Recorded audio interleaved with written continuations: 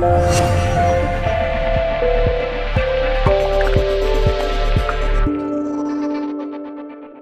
next question is what are the advantages and the risks for users and investors in crypto tokens?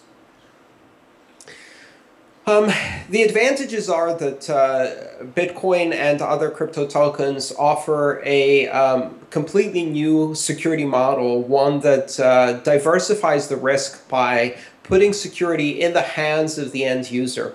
Now, we see in traditional financial services that when a centralized institution, like for example, a large retailer or bank, is hacked, uh, that can lead to the compromise of millions and millions of credit cards or um, consumer identities and identifying information.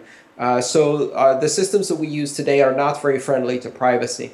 Uh, Bitcoin allows consumers to protect uh, their privacy and to protect the security of their funds by spreading the security across all of the users. So to compromise millions of Bitcoin users, you have to attack millions of different computers if uh, the Bitcoin protocol is used correctly with its decentralized nature, it decentralizes risk.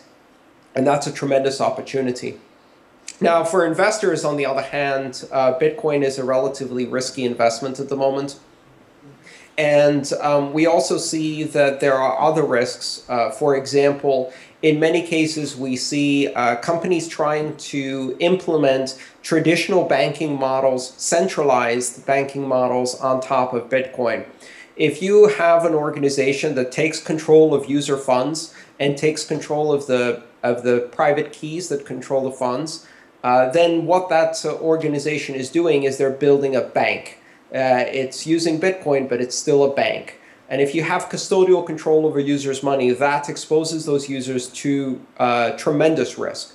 Um, essentially, Bitcoin and the blockchain technology allow users uh, to control their own money. But if you take that security model away uh, and you create something that looks more like a bank, then that actually increases the risk for users, uh, both in terms of privacy and in terms of hacks, embezzlement, and fraud. And we saw that repeatedly with examples like Mt. Gox in Japan and other exchanges that centralized control.